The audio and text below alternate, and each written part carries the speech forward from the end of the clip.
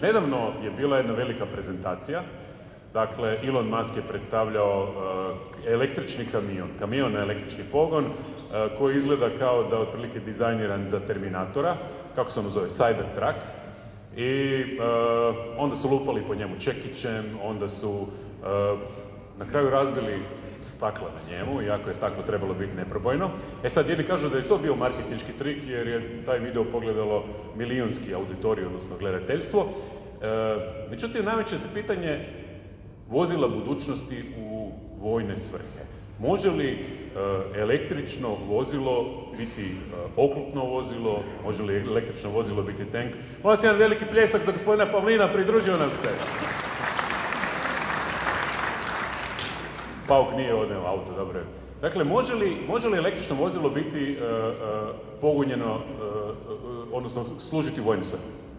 Mislim da može, mislim sve više vozila se raznih elektrificiraju.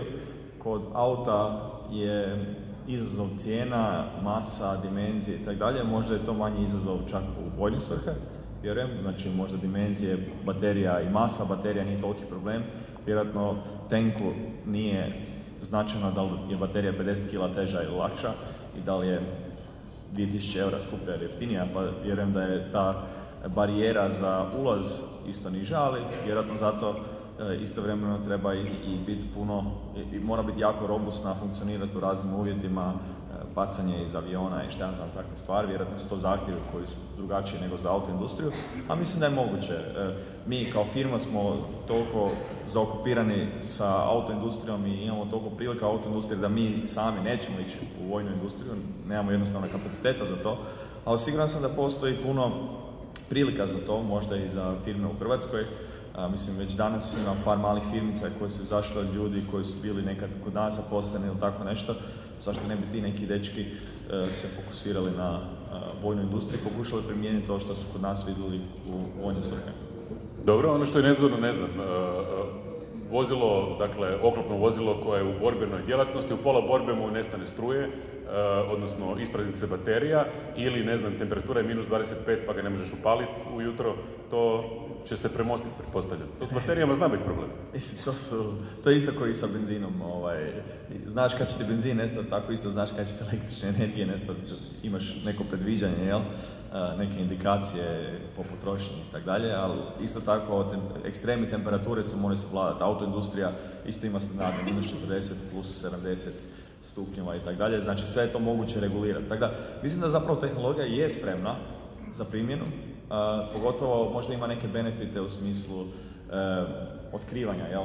znači manje buke, e, manje temperature, znači termalne kamere možda ne mogu prepoznati takve stvari. Tako da mislim da ima jako puno potencijala, znam da američka vojska radi e, na puno takvih stvari, čak američka vojska je puno stvari pokrenula koje su danas u autoindustriji koriste, recimo im bio ovaj DARPA Challenge, tamo negdje 2007. 2008. gdje su prvi put radili natjecanje da autonomna vozila moraju, ne znam, preko pustinje doći od jedne e, točke do druge. I na početku je to bilo jako nezgrapno i loše i tako dalje. Bili su timovi iz e, fakulteta koji su se natjecali i tako dalje. Iz tih timova inicijalnih koji su borili za nagradu DARPE koja je bila, ne znam, milion ili nešto, nešto dolara, iz tih timova su nastale firme koje su danas vodeće u svijetu u E, autonomnoj vožnji i to su danas firme koje vrijede 20, 30, 40 milijardi dolara. Recimo Google Waymo, glavni ljudi koji su u tome su bili u, toj DARPA challenge. Tako da, recimo u, u Americi je to dosta zanimljivo kako puno stvari stvarno kreće od vojske, ona se primjenjuje negdje drugo. Znam da i elektrifikaciju i baterije i tak, druge stvari su oni dosta gurali. Da li je to moguće replicirati kod nas, da neke hrvatske firme onda primjenjuju svoje stvari na ili tehničke inovacije na vojnu industriju, možda isto moguće. Evo nam ovdje predsjednik Hrvatskog klastera konkurentnosti i obrambene industrije Goran Basarac. Što vi kažete na to, gospodine Basarac? Dakle, osnovna teza ovdje je eh, razvoj tehnologija eh, koji može pomoći iskoraku hrvatske obrambene industrije. Kako mi tu stojimo? Kakva je situacija? kakvi su potencijali?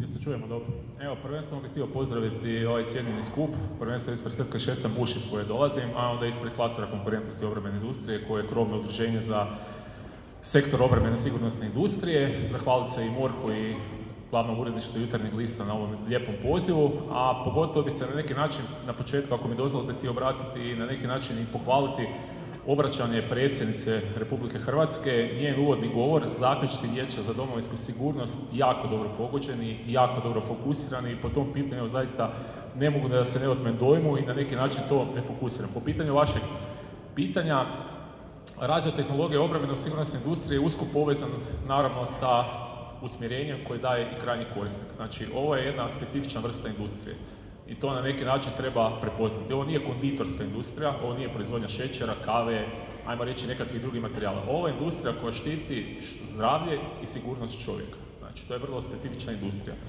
Najbolji prikaz te industrije, odnosno najbolja poveznica je upravo sa krajnjim korisnikom. Koliko krajnji korisnik, ajmo reći, usmjerava svoju industriju, koliko je spreman na neki način u razvoju te industrije u kontekstu novih rješenja, toliko je ona jaka.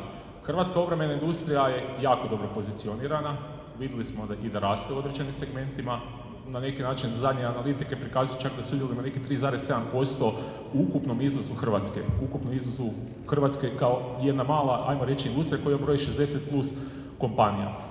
Tako da neki način e, po pitanju samih razvoja i tehnologija e, možemo reći da postoje određene niše gdje smo se jako dobro razvile. Tu postoje tri globalno prepoznate tvrtke, mislim da su ovdje nekoliko puta spomenute. Tvrtka Šestan Bush, HS Product i Do King.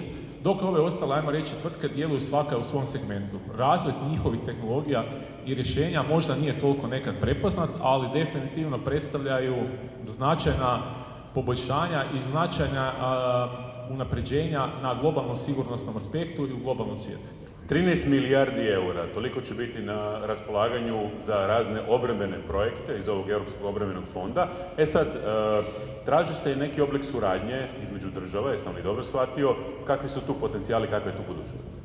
Pa da, taj obrambeni fond predstavlja jedno jako veliki izazov za nas sve i na neki način e, pretpostavlja određene uvjete na koje se vi možete javiti. Kao i nove europske strukturne investicijske fondove koje mi trenutno koristi, interes je da vam se javljaju najjači i najbolji. One nisu namijenjene da ćete vi podupirati nekakve neuspješne ili tvrtke ili sektore. Oni su namijenjeni najboljima. Tako vam isto Europski obrambeni fond. On je uspremljen na najbolje. Preduvjeti osnovni su još zahtjevniji od korištenja europskih strukturnih investicijskih fondova jer pretpostavlja suradnju tri države članice u razvoju određenog novog inovativnog rješenja.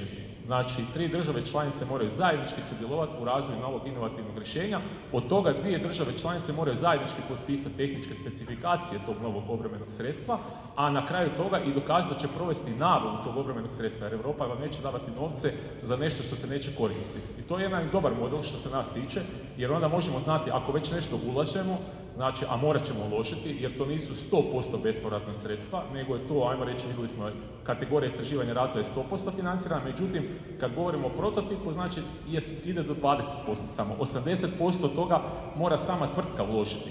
Ali je dobar signal na razini Europe da maltene se zahtjeva da ako se već ide u takav razvoj, ako će Europski obrambeni fond podržati razvoj takvog sredstva, da onda i krajnji korisnik, u ovom trenutku govorimo o ministarstvima obrane, znači mora dati obvezu da će se takvo sredstvo plasirati u okviru krajnjeg korisnika. A to je nama jako bitno jer maltene u ovoj industriji upravo krajnji korisnik i referenca krajnjeg korisnika je konkurentnost. Vama neće niko kupiti našu zaštitnu kacigu ako na neki način ona nije u sustavu oružanih snaga Republike Hrvatske. To ne postoji. Prvo što vas pita da li tu kacigu koriste vaše oružane snage. Nakon toga ide sve dalje. Tako na neki način ovaj obrambeni fond predstavlja izazov, ali predstavlja priliku za ulaganje u razvoj. Dakle, traže se najbolji. Gospodine Pavlin, kad smo kod najboljih, uh, kako vam ide? Čujem da se ovaj Hellcat u Americi prodaje da je apsolutni hit. Pa je, ovaj naš najnoviji zadnji model pištolja je doista hit u Americi, ali ne samo u Americi, nego i u raznim zemljama u Europi, u Hrvatskoj, gdje je doista potražnja velika i mislim da možemo bez ikakve skromnosti reći da je to u ovom trenutku najprodavaniji pištolj najtraženiji pištolj u svijetu. Normalno, i to je na neki način moda, tako da vidjet ćemo za pola godine ili za godinu dana kakva će biti potražnja. Mi u svakom slučaju željeli uspjeh kao što je imao naš prethodni model XDS kojega smo prodali u količini od milijon komada tako da Hellcat moramo još pričekati za takve rezultate, ali u svakom slučaju u ovom trenutku je sigurno jedan od najtrženijih pištolja u svijetu, a možda zanimljivost u vezi njega, koliko se mogu pratiti na youtube i na ostalim medijima. To je prvi puta da je naš partner Springfield koristio HS produkt i našu tvornicu kao referencu u tom videu za vrhunsku kvalitetu, za vrhunsku proizvodnju, za u konačnici robotiku koju mi pričamo primjenjenu u proizvodnji. Dobro, dakle, e, to je mali pištolj koji je poseban po tome za samo obranu, e, da ima 12 metaka što nema niko od konkurencije. E sad, kako se razvija takav proizvod? Čuli smo dakle da je taj razvoj u stvari najskuplji dio priče. E, vaša, vaše, vaše, vaše oružje mahom ima ugrađeni čip, pa su moguće i razne nadogradnje, dakle postoje te predispozicije za instalaciju i raznih ciljnika, kamera i tome slično. Koliko je skup taj razvoj, što se tu može, koliko se mogu iskoristiti ovaj fond? Pa, razvoj traje uvijek godinama i, i moramo gledati razvoj kao jednu širu sliku, znači razvoj pojedinog proizvoda kao što je to konkretno Hellcat je trajao nekih dvije godine. Ali ono što je bitnije da su tehnologije koje su primjenjivane na tome u razvoju, koje su omogućile opće konstrukciju e, takvog pištolja, da se bavimo već puno duže vremena, malo ću karikirati, je bilo jasnije nije ovo ništa poseban pištolj, otprilike ovo je kao u onom vicu kada kažu Japanci su napravili kanistar od 5 litara, pa ništa nije novo, ali Japanci su ga napravili ovakav. Otprilike to je posebnost tog našeg pištolja. Ima malih pištolja, ali doista niko nije zgurao tako veliki kapacitet u tako mali ovoga, proizvod i još u tome da prilikom pucanja doista ne dolazi do pucanja dijelova i tako dalje, što je jako bitno, što svjedoči o našoj tehnologiji. Ovo sa čipom je u svakom slučaju jedan pravac o kojem mi radimo već nekoliko godina. Prošle godine smo, i mislim prema našim saznanjima, smo prva firma u svijetu koja je prodala ili koja ima bilo gdje u operativnoj uporabi, kao što mi imamo u Francuskoj u operativnoj uporabi, pištolj sa ugrađenim RFID čipom. Malo ću sad osvrnuti na ovu našu temu, znači Bitno je, do sada smo, mi naša firma i sve firme, surađivali sa našim ministarstvom obrane u proizvodnji naših proizvoda. No međutim, to je neko prošlo vrijeme. Danas, konkretno ja ću pričati o našim puškama i pištoljima, sve velike zemlje u svijetu imaju svoje neke pravce razvoja i zato je neobično bitno da je e, Ministarstvo obrane doista razumije trenutak u kojem se nalazimo i razumije pravi pravac razvoja naoružanja, to je upravo primjena te elektronike i primjena tog softvera u naoružanju. Još jedan put se vraćam, primjena je više nego raznolika. Znači imamo primjere kao što smo ovdje neke robotske platforme ili ono što Dokin gradi gdje mi robote spominjemo u smislu da zamjenuju čovjeka u nekom dijelu. Imamo robotiku kao što je mi primjenjujemo čisto u proizvodnju koja ti omogućava jeftini kvalitetni proizvod imamo ovakve neke stvari koje mi radimo sa čipom koje ti omogućavaju dvojako, znači nadogradnju različitog sustava, čisto nekakve logističke ovoga, e, pomoć, evo svi mi danas znamo sa masu stvari kada policija, ministarstvo zaprimi, uvijek imaš nekakav podatak i sve se to obavlja s nekim softverom. Danas kad pištolj primiš, još uvijek ti ručno pišeš nekakav broj, pa to ide kroz nekakvu ovoga evidenciju. Upravo ako pištolj ima čip, jednostavno čitate taj broj, vi ste u jednom trenutku stavili podatak u digitalnu formu, možete sa softverom raditi koliko hoćete, tako da od najnižeg časnika pa do ministra bilo kojoj sekundi može se vidjeti na kom mjestu se recimo nalazi taj pištolj ili puška što je osobito važno u nekakvoj borbenoj primjeni, a... To je dosta nezgodno, što ako, ne znam, je vojnik u, borbenom djelovanju i neprijateljska obavještena služba u svakom trenutku vidi gdje su smješteni, a?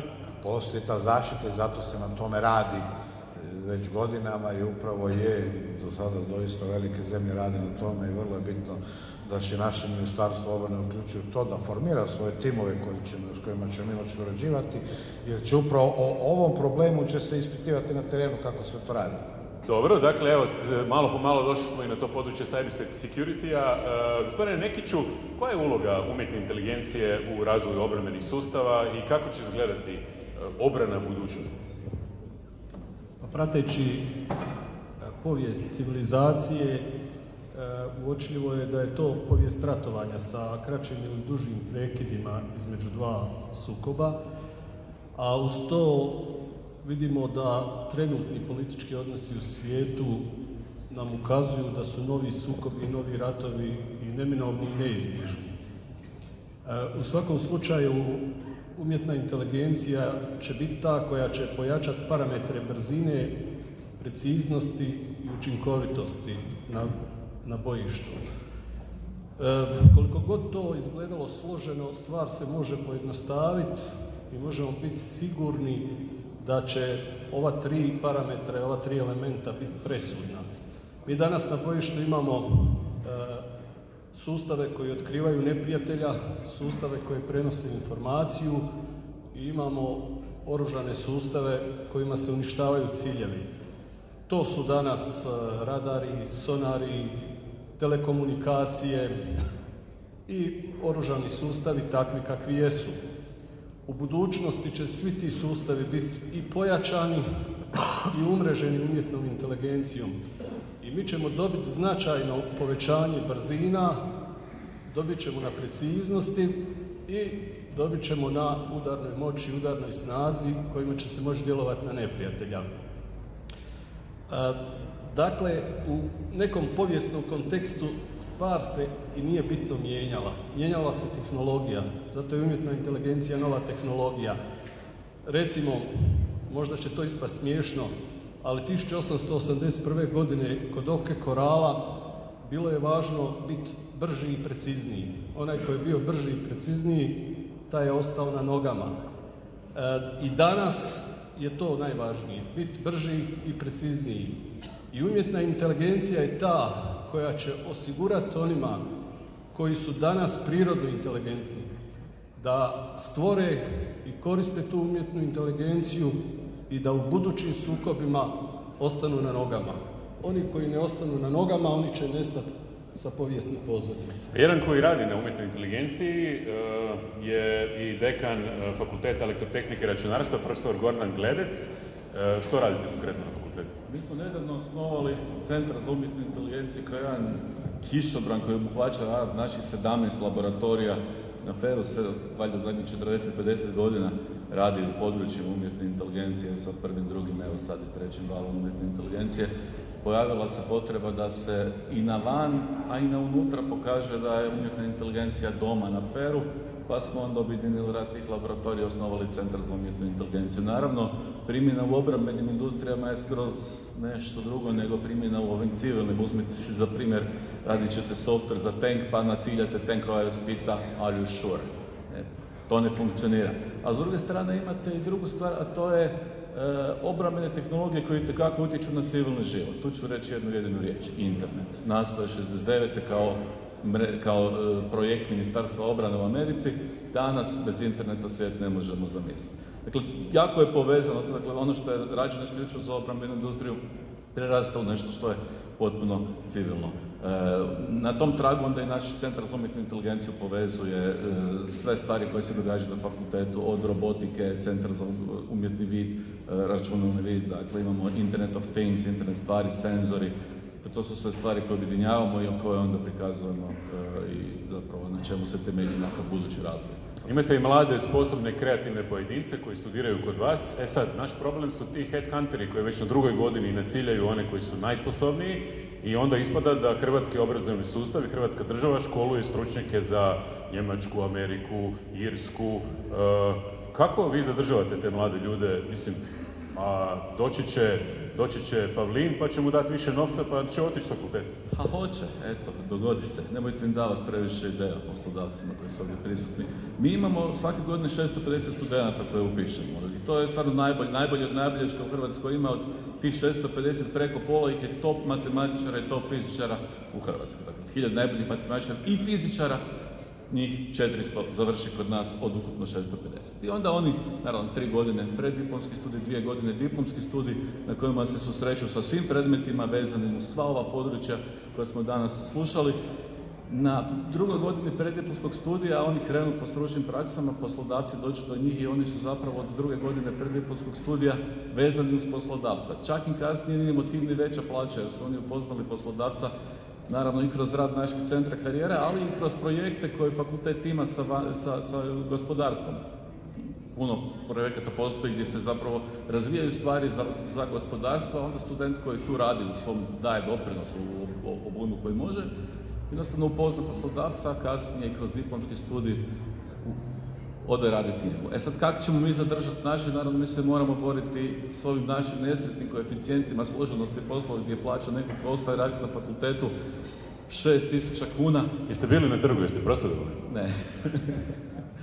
Imamo mi stvari kojima se bavimo na fakultetu, mi radimo, e, iako razumijem one koji prosvjeduju i sigurno imaju pravo na to. E, dakle, moramo se sa 6000 kuna koje nam koeficijenti daju boriti sa plaćama koji su 10 i 15 i više tisuća kuna. Moj asistent koji je bio kod mene nekih šest mjeseci radio na razvoju jezičkih tehnologija na usluzi koju svakodnevno koristi 5000 ljudi, nakon šest mjeseci dođe do međutim, meni su švicarci dali 15.000 kuna, ne mogu reći ne.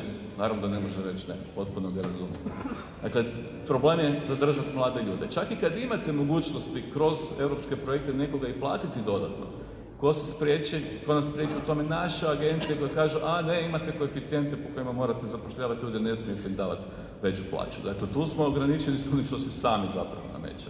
Dobro, nadamo se da će se to u perspektivi rješavati. Boris Drilo je predsjednik udruge informatičke komunikacijske djelatnosti Hrvatske udruge poslodavaca, radi u HT-u. E, što bi vi rekli, kako nove tehnologije razvijaju obrambenu industriju i ko tu koga u stvari razvija?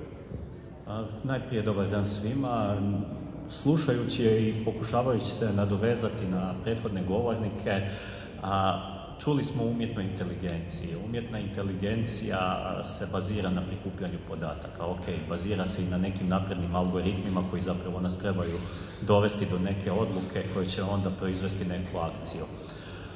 Da bi se ti podaci prikupili potrebna je infrastruktura, komunikacijska infrastruktura.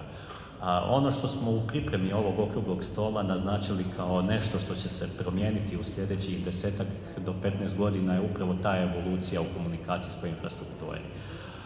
Peta generacija mobilne tehnologije dolazi tu i e, puni su i portali i mediji, razno raznih natpisa, vidite da je u centru trgovačkog rata između Kine i Amerike, ne zbog toga što je to toliko trgovinska tema, nego zbog toga što je to strateška tema za budućnost. 5G će biti s jedne strane kritična infrastruktura za svaku državu, a s druge strane bit će i tehnologija koja će se primjenjivati u svrhu obrane i koja će se upotrebljavati za svrhu zaštite javne sigurnosti. Što se tiče 5G-a, dosta često čujete da je to tehnologija budućnosti, da će sve biti umreženo, senzori, uređaji, dronovi i tome slično. Znači, preko 5G tehnologije de facto će se kontrolirati naš život u budućnosti. Dobro, to konkretno je i velika ugroza. Dakle, ako dođe do nekih neprijateljstava, onaj ko može kontrolirati 5G, odnosno mrežu, koja nije dovoljno dobro zaštićena, taj može paralizirati kompletnu državu. Upravo to, zbog toga, na primjer, i američka vojska ima posebnu granu koja se bavi cyber security i svemu onome što spada pod cyber. Znači, to je prepoznato kao jedna od ključnih stvari. A, I definitivno 5G je nešto o čemu sigurnost 5G-a svaka država mora voditi računa, da se zaštiti i da zapravo spriječi ovakve scenarije. Međutim, i u nekim obrambenim scenarijima 5G ima značajnu ulogu.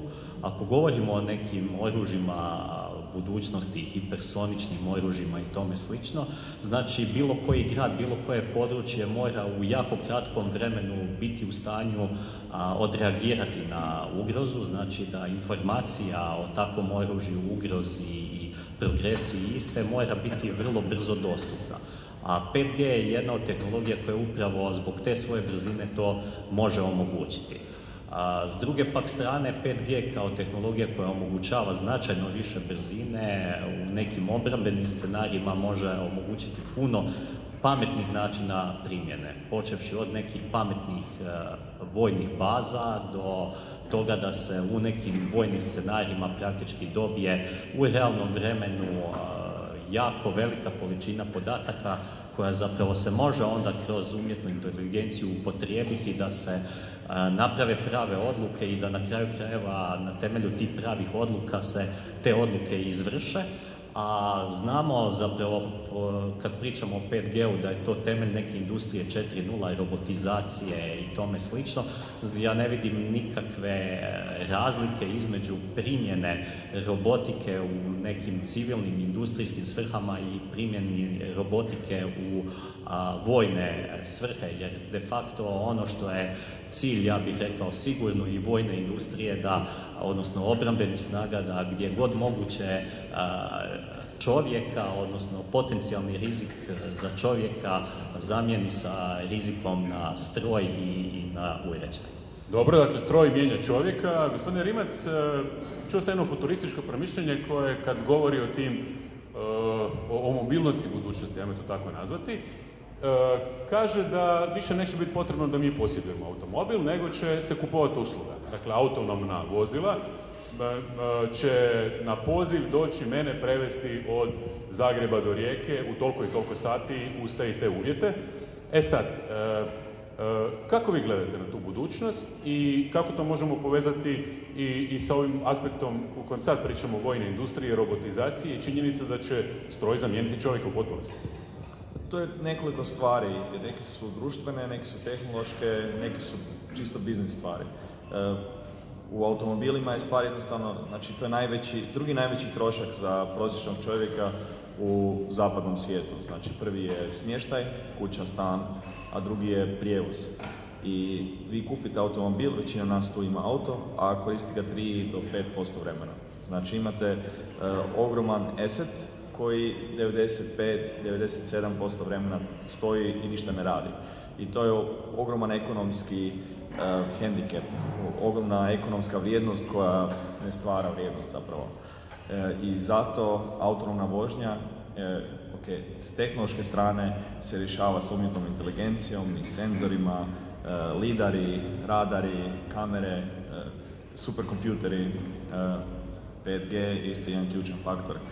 S druge strane, društveno, gdje ljudi danas ne treba više posjedovati auto da bi, bili, da bi imali slobodu, da bi imali mobilnost, više, sve manje postaje statusni simbol, možda na našim prostorima još je, ali u velikim gradovima kao što su Peking ili London, nema smisla imati auto, a onda ekonomski je, to je industrija od 6 e, trilijardi e, dolara godišnje na svijetu, tako da ima ogromna ekonomska prilika.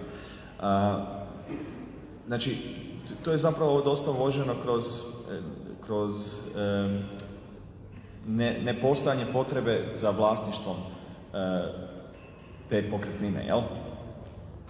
To se, ja mislim, ne može baš primijeniti u vojnu industriju e, u, tom obimu, u, tom obliku, ali sigurno taj aspekt, taj tehnološki aspekt autonomne vožnje ili autonomnog leta se sigurno primjenjuje već danas u u unmanned aviated vehicles, jel?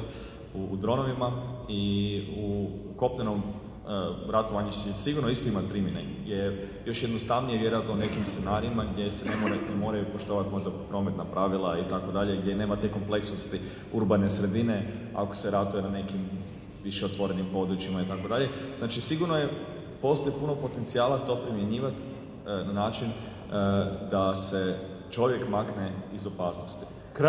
Krajnji aspekt te priče u kojoj stroj autonomno odlučuje je ova etička dvojba koju je spomenuo general Šundov, načelnik glavnog stožera, a to je situacija u kojoj robot autonomno odlučuje o uklanjanju opasnosti, o likvidaciji neprijatelja. To je isto jedan e, aspekt priče o kojem će se morati raspravljati.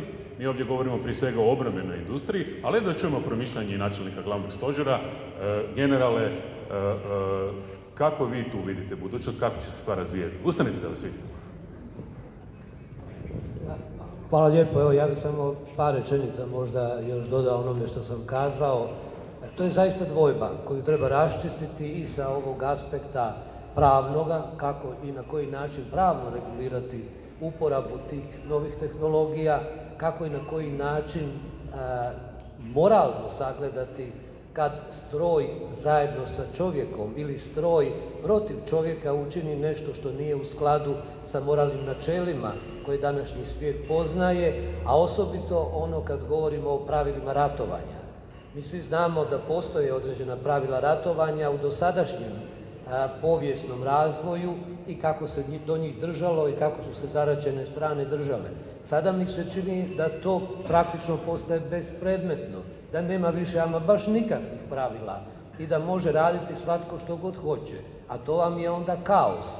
To onda dovodi do toga da nitko za ništa neće odgovarati i naravno da u tom procesu stanje u svijetu onako kako ga mi poznajemo do sada kada postoji barem kakav takav red može doći u pitanje. Tako da su za mene te dvojbe kao vojnika, ja sad govorim više sa vojničkog stajališta i polazišta, kako bih kao zapovjednik mogao nešto slično zapovjediti, odnosno odobriti da stroj napravi umjesto čovjeka ili da zajedno čovjek i stroj to uradi. Hvala vam lijepa. Rekao sam da je ovo interaktivna rasprava, dakle slobodni ste se uključiti, bit će dovoljno da dignete ruku, moćete adresirati neko od pitanja ili komentar za naše paneliste, a dok se to ne dogodi u međuvremenu, uh, idemo do vas gospodine Basarac. Uh, evo čuli smo, dakle, nekad je trajala utrka u nuklearnom naoružanju, danas čini mi se da traje utrka u digitalizaciji. Dakle, ko zaostane, taj gubi neke obrambene sposobnosti kakva je tu budućnost hrvatske obrambene industrije i e, kako država pomaže u svemu tome.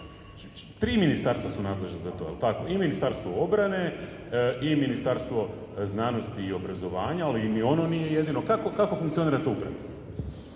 Uh, sad je jedno kompleksno ovako pitanje, evo probat ću odgovoriti. u kontekstu digitalizacije, tu bi se odmah referirao možda i na ovo što je spominjano prije toga, umjetna inteligencija, industrija 4.0 i to sve, evo, možda neki ne znaju, ali recimo prije godinu i pol dana ja sam bio u sustavu, znači bio sam u sustavu državne uprave, radio sam u Ministarstvu gospodarstva, radili smo na programiranju perspektive, programiranju određenih, ajmo reći, uh, ciljeva, određenih područja u koja bi mi trebali ulagati. Čekajte, vi ste jedan od onih o kojima smo slušali od dekana, koji je radio za manju plaću pa sad otišao privatni sektor. Ajmo reći, evo kratko.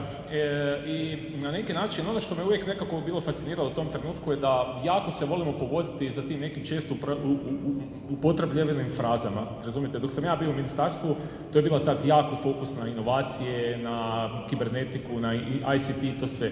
Malo tko je vodio koliko smo mi u biti kao država spremni, a pogotovo koliko su tvrtke spremne na te nekakve, ajmo reći, tehnološke iskorake. Tvrtka kao što se recimo u obrambenom sektoru, ja sam prošao otprilike od ovih 60 tvrtki u djelovanju ministarstva i u djelovanju klastera otprilike 50 tvrtki. Znam otprilike na kojem su oni tehnološkom nivou.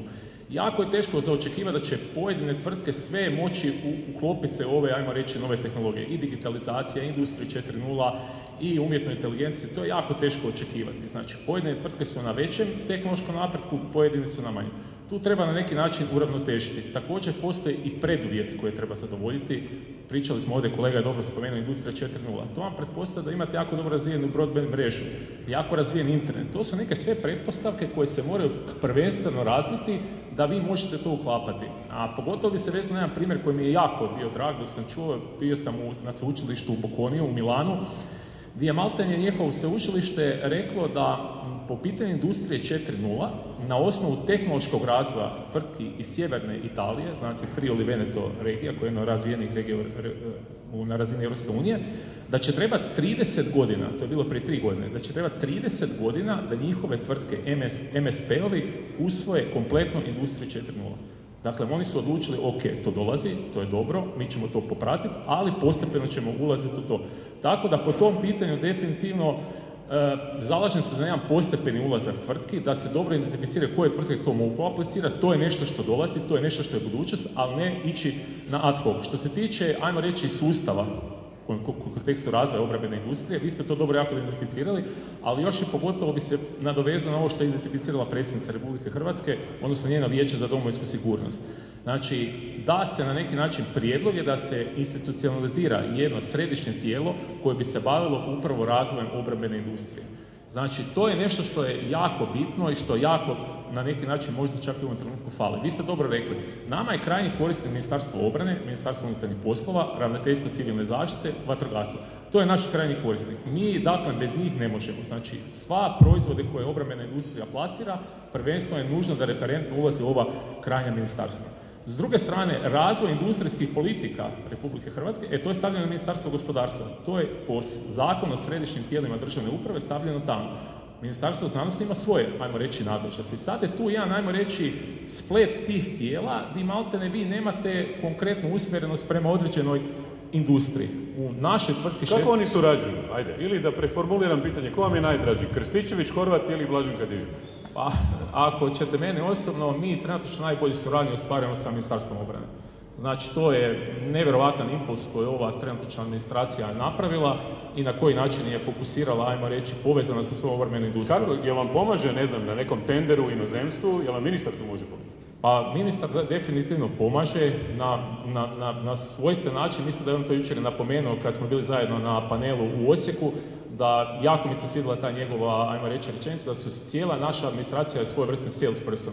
Dakle, da oni nas predstavljaju, da nam pomažu u plasmanu naših proizvoda, time pomažu i utjecaju, ali i konkurentnosti hrvatskog gospodarstva. Nebrojeni su sad primjeri, da i ne spomenem, gdje je ministar Krstičević apsolutno se zalagao određenim tenderima u suradnji sa svojim kolegama iz drugih država članica i to je nešto što mi očekujemo i to je pozitivan puls ove cjelokupne administracije i njegovog ministarstva u ovom trenutku. Ovdje su i brojni veleposlanici stranih država, članovi diplomatskog konzularnog zbora, logično da oni lobiraju za svoje vojne proizvode. Kako naša diplomacija tu funkcionira? Pa, ajmo reći da to ovisi od primjera do primjera. Ne možemo u nekim trenucima biti skroz zadovoljni, a u nekim trenucima možemo biti jako zadovoljni nekim stvarima. Tako da nam to ide od primjera do primjera. Nedvojbeno je da za ovu vrstu proizvoda Ministarstvo obrane je glavni taj bikon, taj svjetionik koji nama otvara puno puteva.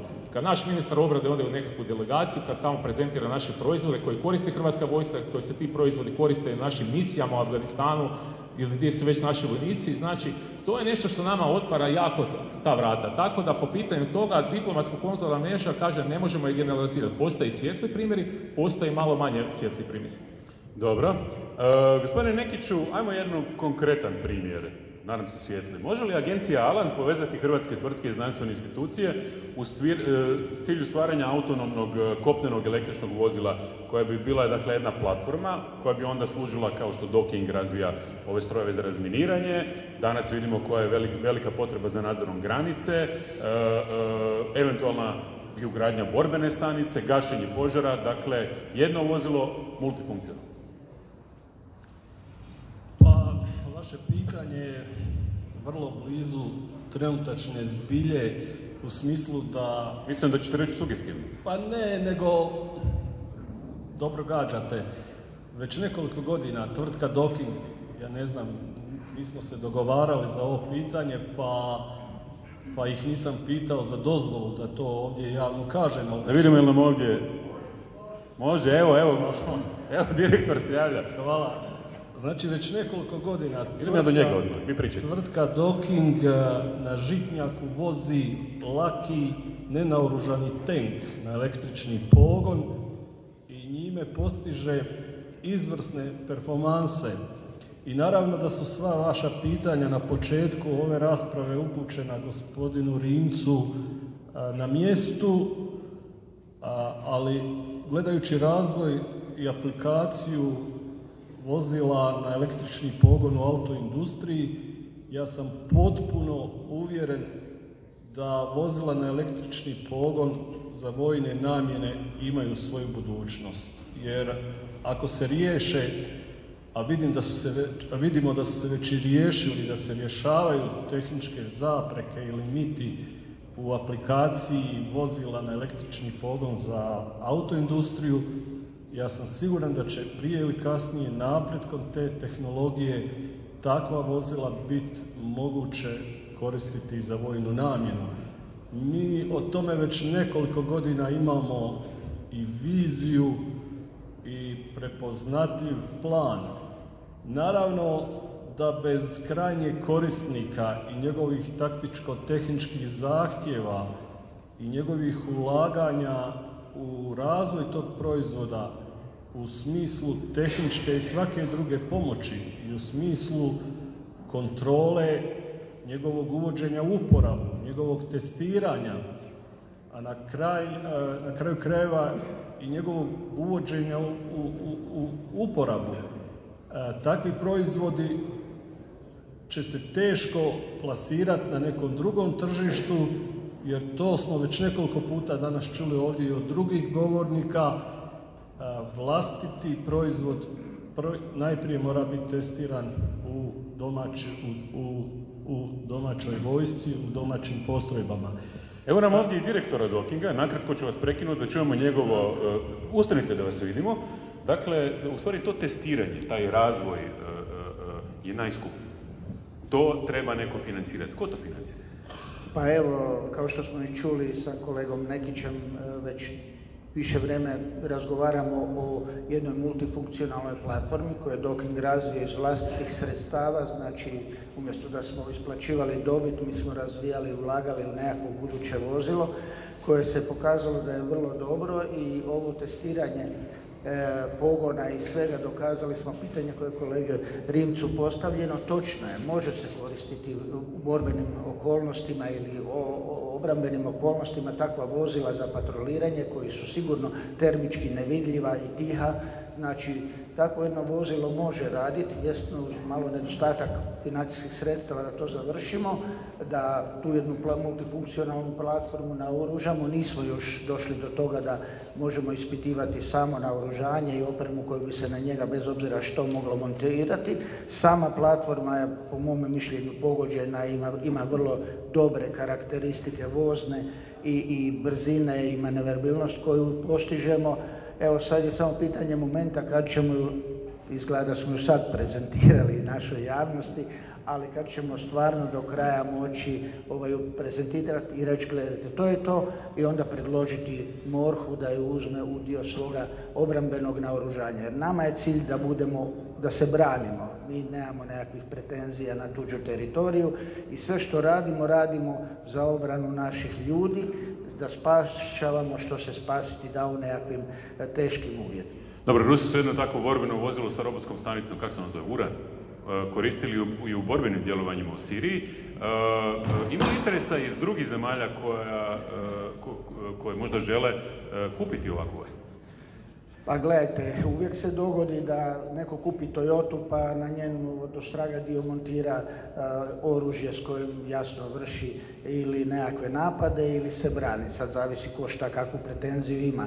Sigurno da su na jednu takvu platformu ugrađivana oružja i to je jedna od multifunkcionalnosti koje smo mi postigli sa svim našim robotiziranim vozilima. Uzmite primjer da je, na primjer, Saudijska Arabija uzela kompletne naše teške strojeve za razminiranje i upotrebila ih u borbenim aktivnostima. Znači, oni na njima čak nisu ni na oružanje stavili, ali funkciju su upotrebili kao oružje gdje bi, gdje bi zaštitili svoje ljudi jer nisu upotrebljavali vojnike da idu u napad direktno na neprijatelje. Dobro, hvala vam lijepa za sada. E, idemo e, i do dekana elektrotehničkog fakulteta. Zanima me dakle ova konkretna suradnja. Vi razvijate neki proizvod, imate centar za umjetnu inteligenciju i e, kako se povezujete? Evo, kako se povezujete sa tvrtkama poput Do Kinga? Je li ima tu interesa? Je li ima kapitala? E, jesu li spremni na suradnju? Evo, sa Dokingom, da ja mogu reći da imamo suradnju ovaj, na jednom projektu gdje je razvijeno antiterorističko vozilo. Dakle, suradnja postoji, a suradnja na fakultetu uvijek kreće zapravo od, toga da se zna šta, šta, čim se koji istraživači bave i ljudi znaju ljude po, po poduzećima i tako se nekako razvije klica nekakve suradnje, to onda prerasta u projekt koji može biti, evo, u slučaju ili projekt ili nekakav drugi projekt, dakle uvijek, nas, uvijek postoje osobni kontakti.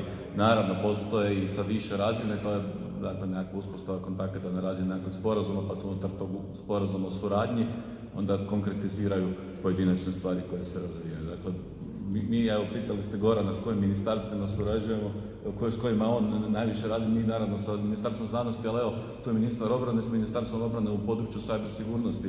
Imamo isto tako preko uh, jednog ili projekta suradnju Cyber Conflict Simulator, dakle to, to je jedno, jedan primjer suradnje s Ministarstvom gospodarstva, naravno meni je ministar, više student ETF-a tadašnjega, ali sve ono što mi radimo zapravo treba završiti u gospodarstvu. U nekim zemljama imate znanost, tehnologije, gospodarstvo da je jedno ministarstvo. Naravno, mi u znanosti možemo napredovati pišući radove, ali nije poanta našeg istraživačkog rada da naše istraživanje završi u nekakvom CC radu, računa se za napredovanje u karijeri, a zapravo od toga niko nema korist, posebno porezni obveznici koji su financirali naš rad. Ajde kad smo kod poreznih obveznika i financiranja rada, sam novac, od kud dolazi, koliko ste uspješni u povlačenju ovih fondova o kojima smo sad govorili? Dakle, recimo kad gledamo Horizon, znači obzor 2020. naš fakultet je dobio deset, kad, znači kad gledamo znanstvene istraživačke institucije i visoko obrazovanje, od, na FER otpada 10% svih projekata iz Hrvatske, to je u novcima, to je nekih 16% svih novaca koji, došli za, koji su došli za znanost i istraživanje na visokim, visokoškolskim i istraživačkim institucijama. Iznad nas je jedino Ruđer Vožović koji ima podjednak broj istraživača, ali ima, oni rade samo znanost, mi radimo pola nastavu, pola istraživanja, tako da ja obično imali koliko od Ruđera, volim reći da smo duplo bolji od njih. Bolji ste od Ruđera? A sad ćemo vidjeti kad će reagirati. Druga su, druga su naravno područja istraživanja, ali evo to je čisto ovak malo, malo zgodno, zgodno za reći. Dakle, tu kroz Horizon projekte dobijamo. Imali smo suradnju sa NATO-om kroz one Science for Peace, dakle projekte koji su razvijani, izravno financirani iz NATO, profesor Ćosić je jedan takav projekt isto vodio u nekakvom civilnom svijetu gdje umjesto vojnika imate televizijskog voditelja, menadžera, imate ministra koji može biti... Oni su vam otporni na stres, ne morate to brinuti. Pa eto, sigurno se može bolje. gospodine Drilo, vidim da ste imali borbene djelovanje dok sam ja bio u publici. ili, ko je to, Rimac kriv ili vi? Ko je razbio? A, Rimac je kriv, naravno. Dobro. ima li Hrvatska potencijal da postane jedan od centara izvrsnosti u području kibernetičke sigurnosti? Stalno pričamo o tim kadrovima, mladim, sposobnim ljudima. Postoje neke tvrtke koje otvaraju te centre za, za istraživanje. Je li vaša jedna među, među njima? Pa, kibernetička sigurnost je sigurno jedna od ključnih tema, to nema dvojbe. Ja mislim ono što je kod nas bitna, bitan je fokus. Mi u Hrvatskoj imamo dosta tendenciju da se želimo baviti sa previše stvari, a da je kritična masa da obradimo te stvari zapravo vrlo mala.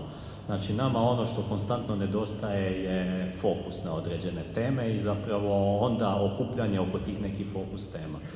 Slušajući baš ovo što su kolege ranije rekli, zapravo ove europske fondove koji će biti raspoloživi ili jesu raspoloživi za područje obrane i razvoja tehnologije u obrambene svrhe i slično, zapravo razmišljam da mi unutar područja gospodarstva imamo slične stvari. Sad se tu zaista stvari i preklapaju.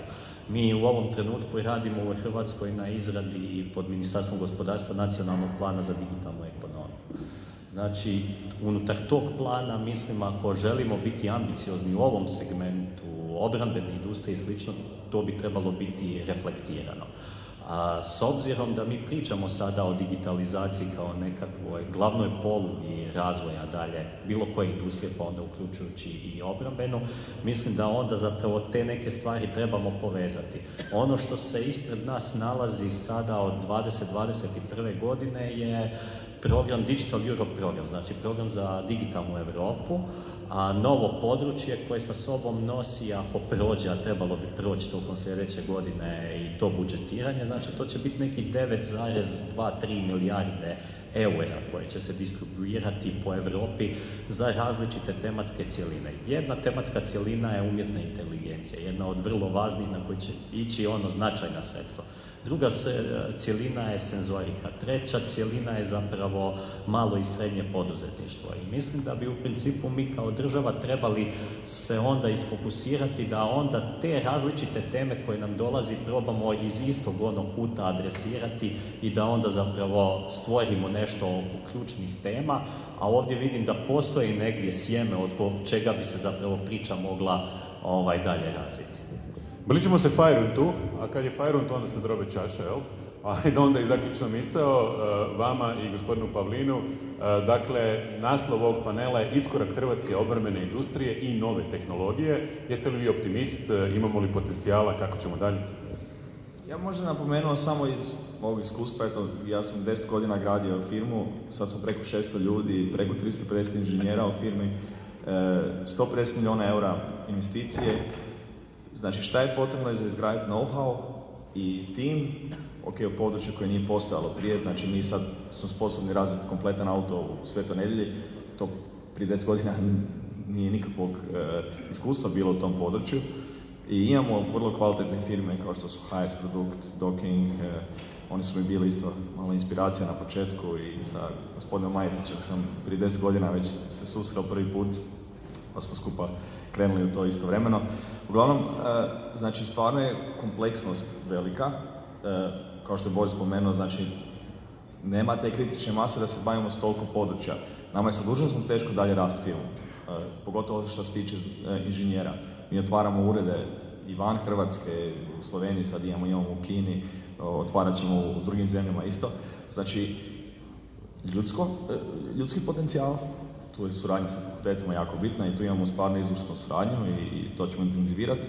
E, novci. Znači, ja sam u zadnjih deset godina morao kucati na tisuće vrata po cijelom svijetu investitorima da bi privukli tu investiciju koja nam je potrebna i jedva jedvice smo preživjeli i zapravo je čudo da, da nas još ima i ogromni novci su za to potrebni, znači do sad 150 milijuna eura.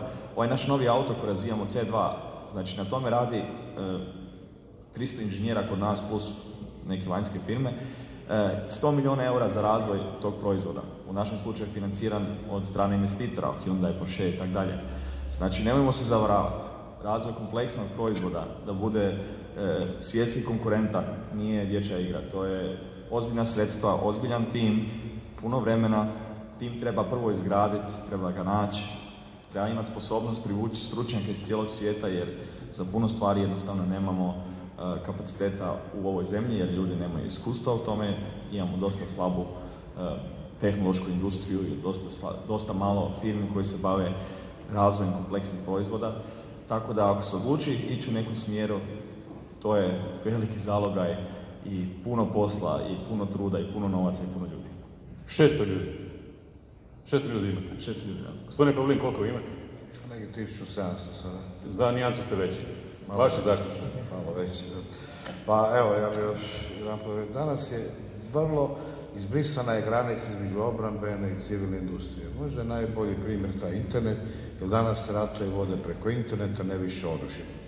A u biti internet, recimo, jedna često civilna ovoga stvar koja teoretski ne bi trebali imati veze sa vojskom. U tom smislu, kao što je Goran rekao, naša suradnja je najbolja sa Ministarstvo obrane, odnosno možemo reći jedina prava suradnja.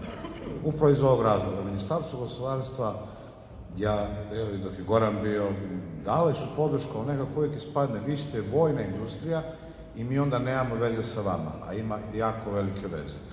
E, razgovaramo danas o tim novim tehnologijama, robotizacije, NT4 tehnologiji. HS produkt je upravo nakon dugo godina i uz pomoć Gorana, nakon sigurno četiri godine možda, ovoga, pred potpisom ugovora imat će prvi centar robotike i tehnologija u Hrvatskoj.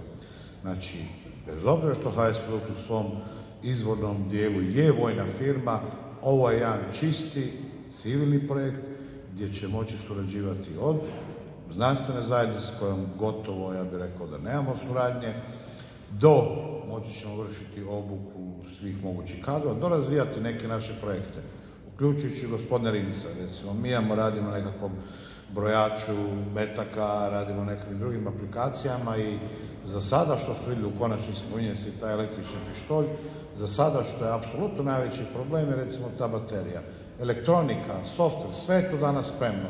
Pada se na bateriju, jednostavno baterija ima, nama treba normalno jedna mala baterija, baterija ima jednu veliku manu da pri niskoj temperaturi stravično gubi kapacitet. Mi imamo tu najveće svjetskog stručnjaka i ja bih molio da se svi uključe upravo na tako nekim projektima, jer ono što da se još nadovežem na ovu suradnju različitih ministarstava i znanosti zapravo, e, naša zajednica, mi to neki puta možda osjetimo se, i znanstvena zajednica bavi se možda previše nekakvim bazičnim istraživanjem što u svakom slučaju svaka država treba, a mi imamo vrlo ovoga, konkretne projekte. Treba nam baterija tih i tih dimenzija koja će imati takav i takav kapacitet na temperaturi 0 stupnjeva.